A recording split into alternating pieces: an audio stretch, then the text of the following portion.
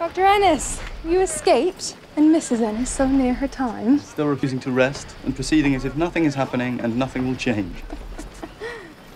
Well, Captain, anything to report? There is, ma'am. And not good. The champion lodes were an unexpected thing. It looked safe for nigh on five or more years, but now, if it peter out as we think it will, We might have to close within months.